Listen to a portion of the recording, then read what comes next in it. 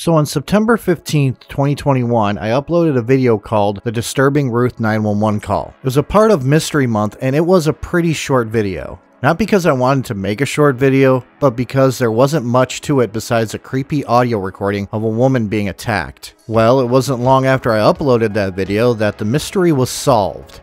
In fact, it was solved by a listener of the Going West podcast, and that person made a Reddit post soon afterwards. And this is the perfect example of how one little detail in a story could make things difficult to investigate claims of authenticity. That's right, the story from the last video that I made on this turns out to be false. So we're going to look at the actual story of that call. First, let's go over what the story was. The story was that a woman called 911 to report a strange person on her property ended up being attacked and murdered. This audio recording was used as a training exercise for 911 operators on what not to do. Here's the call to refresh your memory. Oh, well, there's some guy been uh, checking the place out. Well, he went in the back. I have an apartment in the back, and he said he was looking for a guy. And he comes to my door, and yeah, and uh, said he's uh, looking for an apartment. So I'm, I live alone, and I'm an old lady.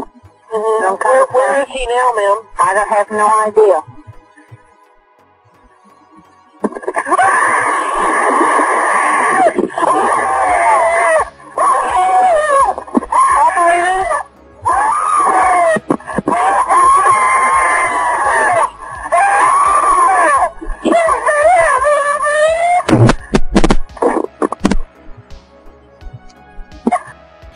Yeah, that's still disturbing. Anyways, I stated that I was on the fence on if it was real or not. Well, I got my answer. I have to play this clip again because it is important to what I found. There's a reason I need to play this before I go into the update. A clever user was able to use a people lookup website to find a record of a woman named Ruth Price, who died in 1994.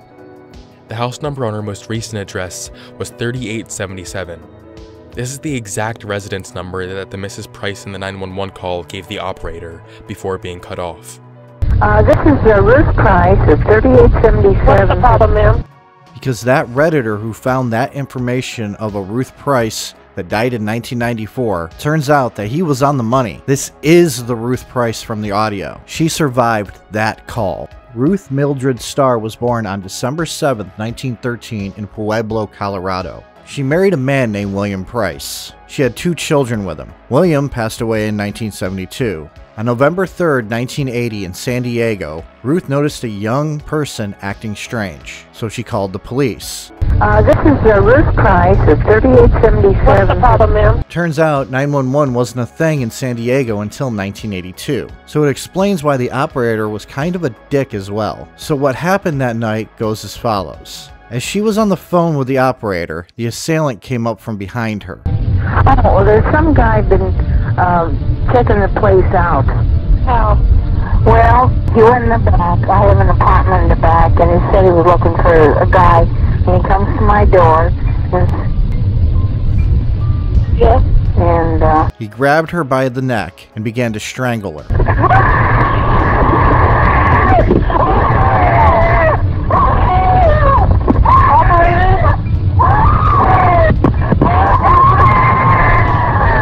She dropped the phone and was able to break free of the man who fled, which her dropping the phone was what the end of the audio stud was.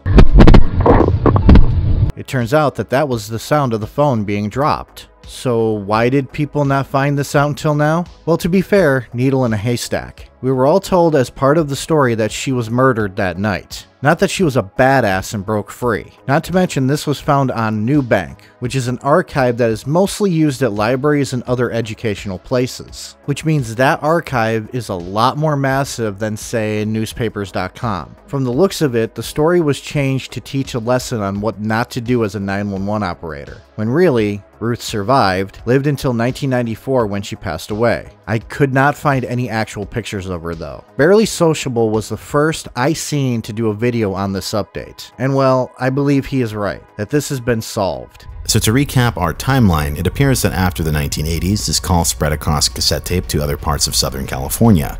where after some two decades later, C, who was also based in Southern California, had uploaded this call to the internet. And thereafter, the internet had spread like wildfire. But it is worth mentioning that the earliest mention of this call on an internet forum is also from an EMT out of Southern California as well.